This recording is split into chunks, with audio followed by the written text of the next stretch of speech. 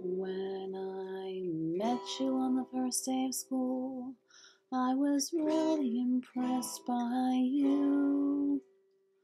Why didn't I talk to you then? Cause all my life I prayed for someone like you. And I thank God that I, that I finally found you.